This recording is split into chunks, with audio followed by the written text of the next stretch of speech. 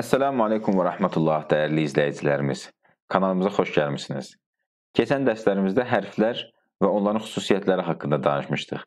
Bugün inşallah hərəkələr haqqında və hərflərin başda, ortada, sonda yazılışları haqqında danışacağıq.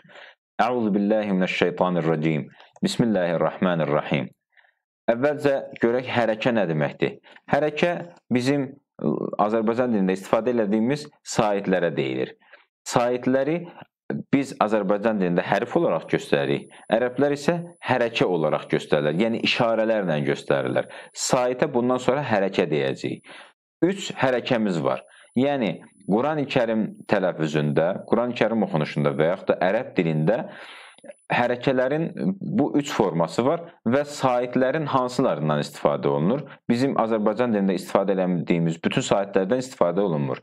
Ə, A, Bu saitlərdən istifadə olunur fəthə hərəkəsində i və i ilə bərabər yazılan i, i. Bu kəsrada istifadə olunur. Dammə isə u, qalın u və incə u formasında səsləndirilir. Digər saitlər ərəb dilində yoxdur. Fəthə hərfin üstündə yazılan əyri xətdir. Fikir verirsiniz, yumru gördüyümüz hərf təsəvvür edin. Üstündəki əyri xətt fəthə hərəkəsidir. İnce hərflərə ə səsi verir, qalın hərflərə a səsi verir. Kəsrə hərfin altında yazılan əyri xəttir. Hərflərimizin hamısına i səsi verir. Sadəcə sadda, taza, itbəq olan ən qalın kobud hərflərimizə i, i sonra i, i səsi verir. Dammə isə hərflərin üstündə yazılır hər zaman. Vav hərfinə bənzəyir və incə hərflərimizə incə u, qalın hərflərimizə qalın kobud u səs verir. Ü səsi vermir. Ü bəzi əlifbalarda ü yazılır. Dammənin incə hərflərə ü ilə səsləndirdiyi yazılır. Bu yanlışdır. Heç bir ərəb ölkəsində, heç bir ərəb ləhcəsində ü səsi yoxdur. Bunlara fəthə, kəsrə, dammə deyilməyinin səbəbi nədir? Bəzi yenə də bəzi əlifbalarda buna fəthəyə üstün yazılır, kəsrəyə əsrə yazılır, damməyə ötrə yazılır və yaxud da zəmmə yazılır. Problem deyil əslində, amma bu formada daha uyğundur, daha düzgündür. Orijinal adları belədir. Niyə fəthə deyilir? Baxın, fəthə sözü ərəb dilində açmaq deməkdir fəth. Ə, a, ağzımızı açırıq. Ona görə buna fəthə deyilib. Kəsra, kəsr qırmaq, sındırmaq deməkdir. İ, i, çənəmizi sındırırıq sanki, qırırıq. Ona görə i səsi çıxır. Dammə, dam büzüşdürmək deməkdir, büzmək deməkdir. Görürsüz, dodaqlarımızı büzüşdürürük ki, u səsi çıxsın. Ona görə bu hərflərin adları bu formada qoyulubdur. Fəthə, kəsra, dammə. Deməli, bizim bu əlifbamız, sıralamamız eynidir. Sıralamanı dəyişməmişik ki, sizə rahat olsun. Əlif, bə, tə, sə, hər bir xananın içindəki bir hərfdir. Sadəcə hərfin başda, ortada, sonda yazılış formasıdır. Tam gəlirik yə hərfinə qədər eyni sıralamadır. Burada fərq nədir? Deyək ki, e, çapla yazılan bir yazı var və əl yazma var. Fikir verirsiniz, çapla yazılanda hərflər ayrı-ayrı yazılır. Əl yazmada hərflər bir-birinə birləşir. Hərflər bir-birinə birləşəndə hərflərin şəkilləri dəyişir. Əvvəlki hərfə birləşmək üçün bir quyruq əlavə olunur. Sonrakı hərfə birləşmək üçün quyruğu biraz uzanır və yaxud da şəklin tamamilə forması dəyişir. Məsəl üçün e, latin əlifbasında ra hərfinin çap yazılışına fikir verin. Bunun bir də əl yazması var. Təxminən bu hə hərfinə bənzəyən bir forması var. Tamamilə şəkli dəyişib görürsüz. Ərəb dilində də, Quran-Kərim əlifbasında da bu formadadır. Hərflər başda, ortada, sonda yazılanda şəkilləri biraz dəyişir. Baxın, əlif başda belə olur, ortada belə, sonda belə. Bə başda belə olur, sonrakı hərfə birləşmək üçün quyruğu yazılmayıb. Ortada olanda bu tərəfə də, bu tərəfə də xətt çəkilib, buradan bu hərfə, buradan bu hərfə birləşir. Bə sonda yazılanda ümumiyyətcə bütün əksər hərflər sonlarda yazılanda daha orijinalına yaxın olur. Ən son bir dənə əvvəlinə biraz quyruq əlavə olunur, əvvəlki hərfə birləşmək üçün. Bu formada oxuya-oxuya göz alışqanlığından öyrənəcək. Bunu ayrıca hərflər başda yazıldı, ortada yazıldı, sonda yazıldı. Buna vaxt aparmağa ehtiyac yoxdur. Təsəvvür edin 28 hərf öyrənmişik bitər, necəsə öyrənmişik və biz e, bundan sonra 28 dənə başda, 28 ortada, 28 sonda yazılanların şəklini yadında saxlamaq, yəni təsəvvür edin 60, yəni bir e, 84 dənə hərf öyrənəcəyik əlavə. Bu çox çətin məsələdir. Buna ehtiyac da yoxdur, yəni e, bu formada e, öyrənməyə. Göz alışqanlığı ilə bilirik. Məntiqi e, yadımıza salaq, məntiqi xatırlayaq. Biz nə demişdik? Məsəl üçün xəttin altında bir nöqtə bədir. Və sonra bu xətt belə oldu, belə oldu, hansı formada oldu? Çox problemli bir şey deyil bu. Xəttin altında bir nöqtə bə, o xəttin üstündə 2 nöqtə t, 3 nöqtə s.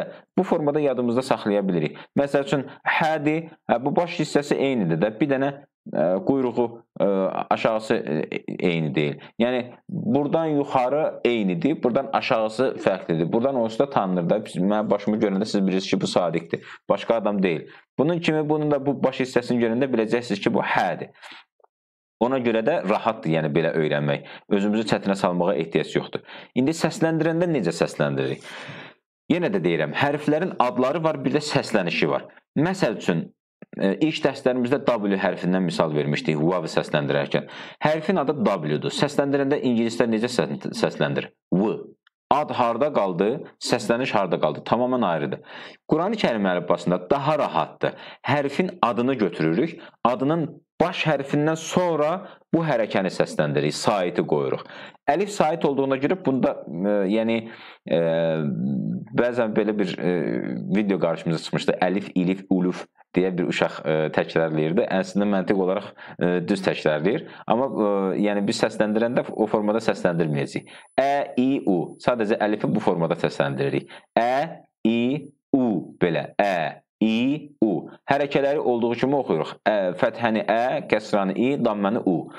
B hərfini fəthədə oxuyacağıq. B, kəsrədə bi, dammədə bu. B, bi, bu. B, bi, bu.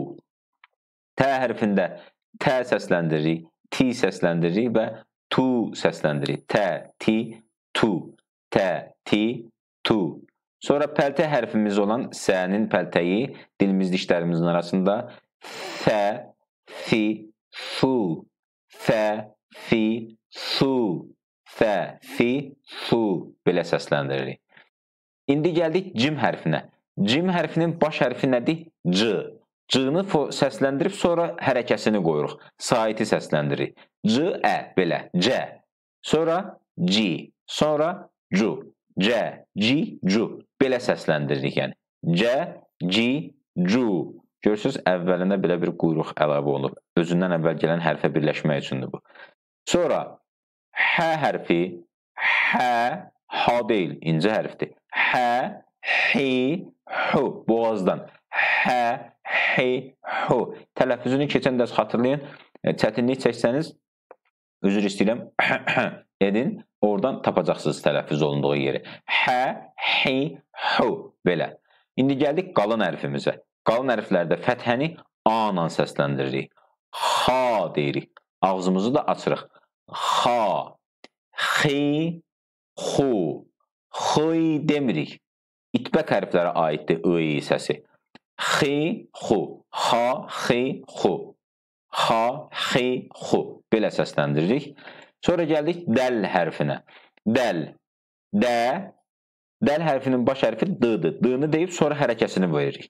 Də, di, du, də, di, du. Baxın, dü demirik. Du, kobud da demirik. Du, yumuşaq u, incə u. Du, də, di, du. Belə.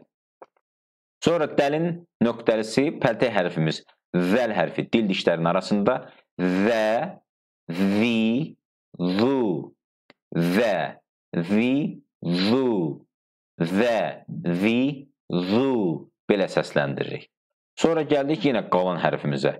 Ra hərfini xatırlayırsınızsa, birinci və ikinci dərsdə demişdik ki, bəzən qalın, bəzən incə oxunur. Əksər hallarda qalın oxunur, az hallarda incə oxunur.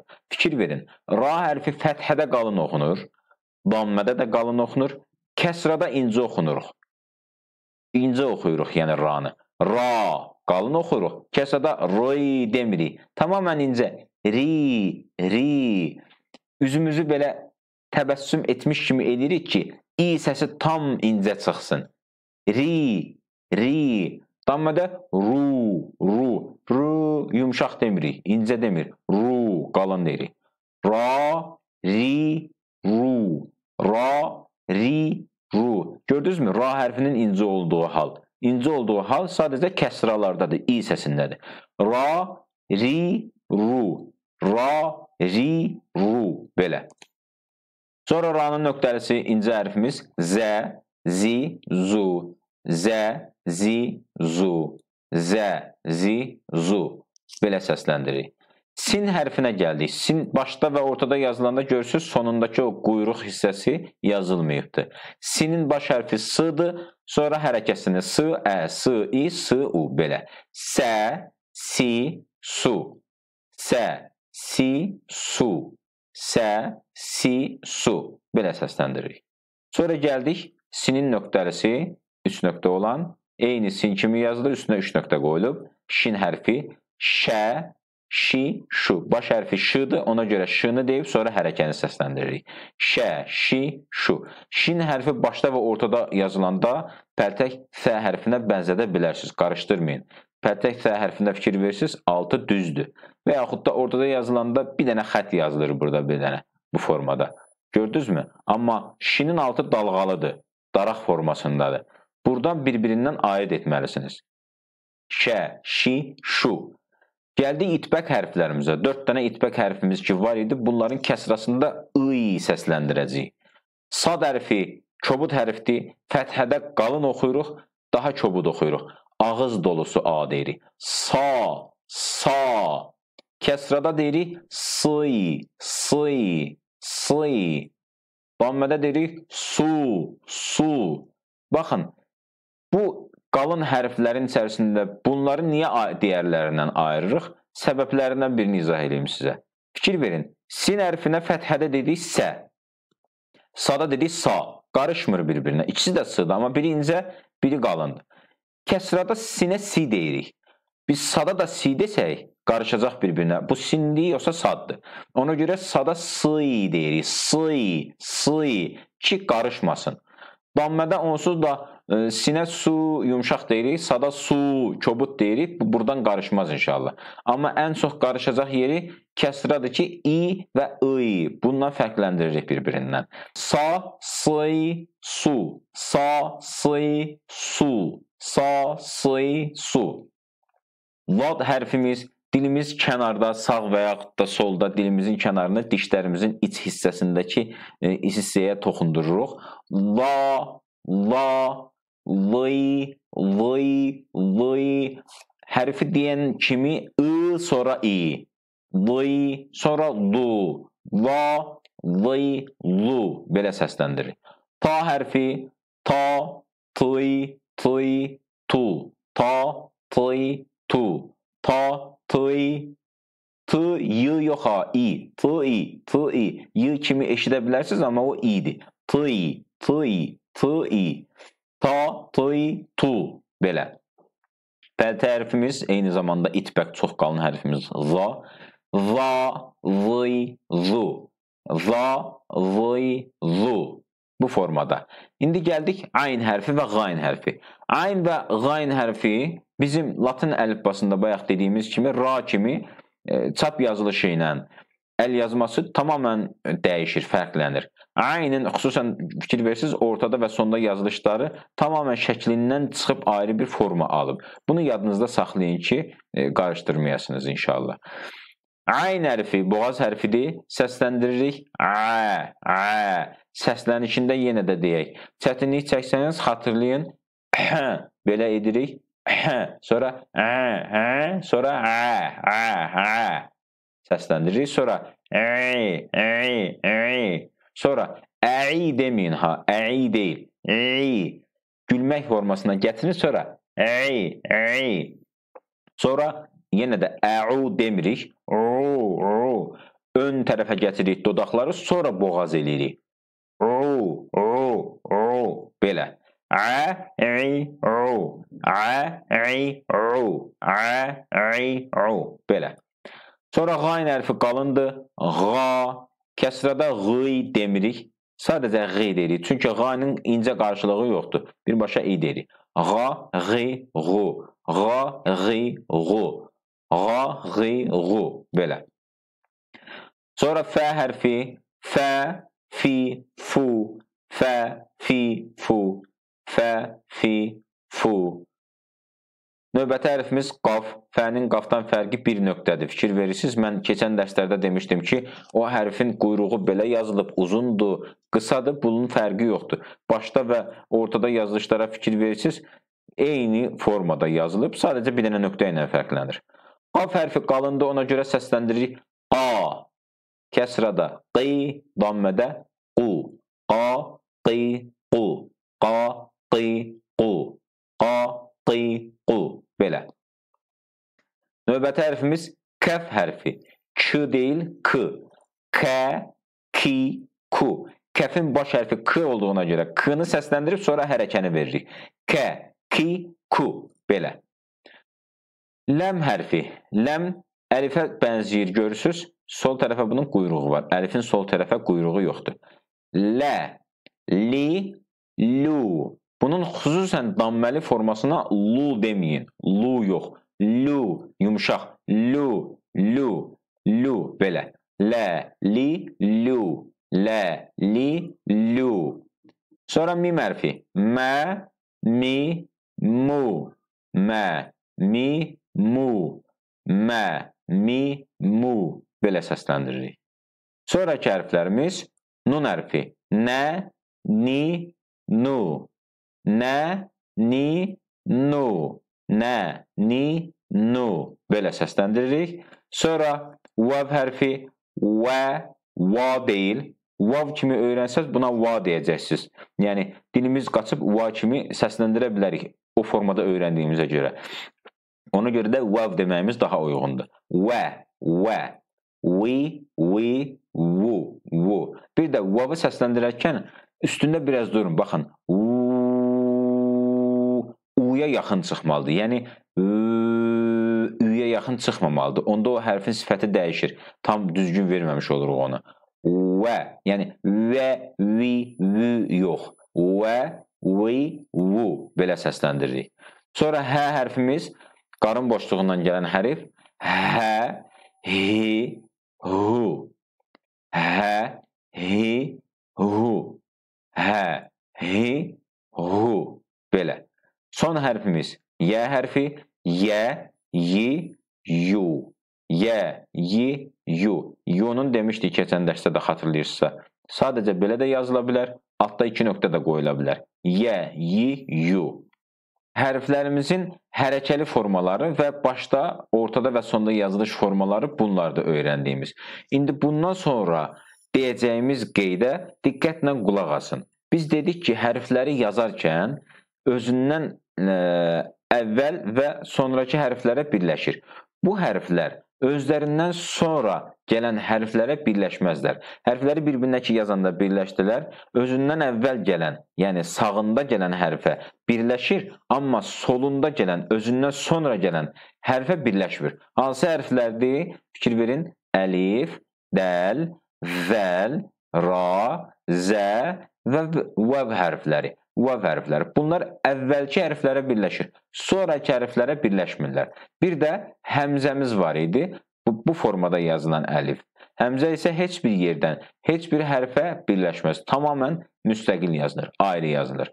Misallara baxaq. Baxın. Əlif bir kəlmə yazılıbdı bura. Hərəkə qoymamışıq. Sadəcə hərflərin bu formada e, yazmışıq ki, e, birləşib birləşmədiyini görəsiniz. Bu bir hər, e, kəlmədir. Burada əlif sonrakı mim hərfinə birləşməyib. Dəl sonrakı xa hərfinə birləşməyib. Əvvəlki təyə birləşib amma baxırsınız. Məsəl üçün zəl sonra yazılan yəyə birləşməyib. Əvvəlki ləm hərfinə birləşib. Ləmdir bu, əlif deyil. Niyə? Çünki əlif olsaydı sonrakı hərfə birləşməzdi. Sonrakı hərfə birləşibdirsə, yəni sol tərəfə quyruğu varsa, deməli əlif deyil. Bu ləmdir. Sonra ra hərfi növbəti yə hərfinə birləşməyib. Amma özündən əvvəlki qafa birləşib əvvəlki hərflərə birləşir, sonrakı hərflərə birləşmir. Z məsəl üçün başda yazılıb, özündən sonra gələn ləmə birləşməyib. Amma buradakı z-ni görürsüz, yenə də sonrakı hərfə birləşməyib. Amma əvvəlki hərfə birləşir. Əvvəlki hərflərə birləşirlər, sonrakı hərfə birləşmirlər. Vav hərfi özündən əvvəlki hərfə birləşir, amma sonrakı hərfə birləşmir. Baxın, burada görürsüz, əvvəlki qafa birləşib, burada əvvəlki ləmə birləşib, amma özündən sonra gələn ləmə birləşməyiblər. Ayrı yazılıbdır. Burada da həmzəni görürsüz. Həmzə də ə, əlifdən sonra yazılıb, onsuz da əlif özündən sonra hərfə birləşdirmir. Tam ayrı müstəqil yazılıb və yaxud da ortada da yazılanda burada yə var, burada tə var, ortada da bu həmzə var. Həmzə tam ayrı bir formada yazılıbdır. Hərəkələrimiz bunlardır və hərflərin başda, ortada yazılış, sonda yazılışları da bunlardır. Yəni bu formada başdan təkrar-təkrar dinləyərək bu e, hərflərin yazılışlarını öyrənə bilərsiniz. Ayrıca yaza da bilərsiniz, yaza-yaza da öyrənə bilərsiniz. Şifahi formada da bu formada əzbərləyə bilərsiniz. Çətin bir şey yoxdur. Nəsə bir sualınız olsa mütləq şərh bölümündə yazın. Mən inşallah cavablandırmağa çalışacağam. Yoldaşlarınızla bu videonu bölüşün. Bəlkə sizin vəsilənizlə kimsə də öyrənmiş olar. Bəyəndinizsə videonu orada mütləq bəyənmə düyməsini basın ki, daha çox insan bu dərslərdən faydalanmış olsun. Allaha əmanət olun. Gələn dərslərimizdə görüşmək ümidi ilə Allah zehin açıqlığı versin.